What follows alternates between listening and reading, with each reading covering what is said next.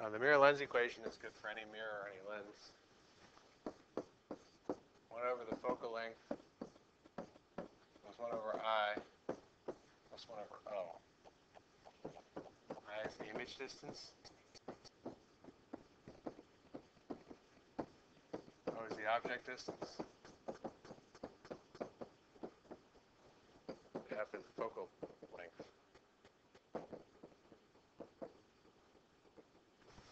Now all of these are measured from the mirror or the lens. All those values in there are from the mirror or with respect to the mirror and the lens. Magnification equation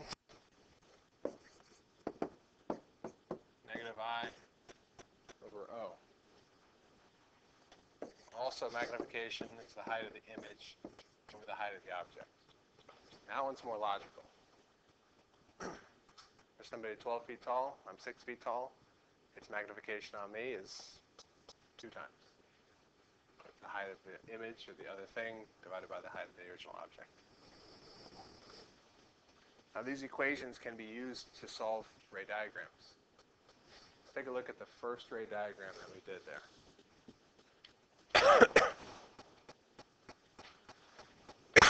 we got a converging mirror. And if you count those dash marks, one, two, three, four, five, six, seven, nine, ten. The focal length is 10. We'll call it centimeters. What's the center of curvature? Center of curvature, radius of curvature is 20 centimeters. Not that that makes any difference to us for the problems. How far is the object away?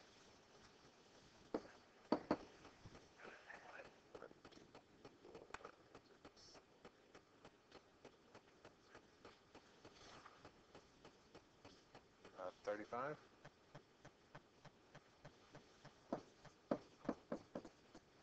So where do we expect that image to be?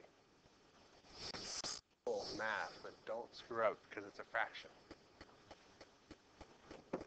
1 over f equals 1 over i plus 1 over o. 1 over the focal length, 10 centimeters. 1 over the image distance, which we're solving for, plus 1 over the object distance, 35. Subtract. 1 over 10 divided by, or subtracting 1 over 35. If you're doing it in your head, you got to find a common denominator. Don't say it's 1 over 25 or something dumb like that. Just type it in your calculator or find a common denominator. Uh, common denominator is 70. 7 over 70. That's 2 over 70. Equals 1 over i. 5 over 70 equals 1 over i. So i is equal to 70 over 5, which is 14. That's a positive value. So if you look at it, where did you find your image? Pretty close to 14 centimeters away. Positive. It's on the left side of that mirror.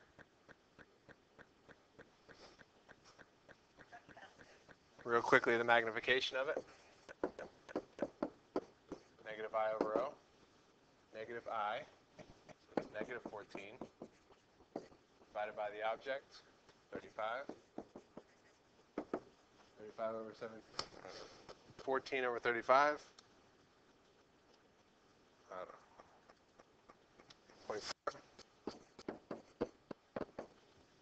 1.4 magnified. That means smaller. Magnification of 1 would be the same size. And this is also a positive value. Actually, sorry, that's negative. Now, how did we describe that image? That image was real. That image was inverted.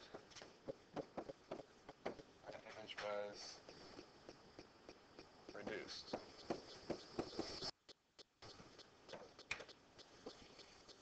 converted. negative sign. Reduced, more than one. Real, positive.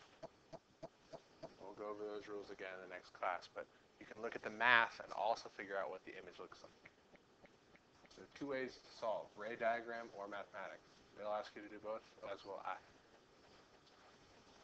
Any questions?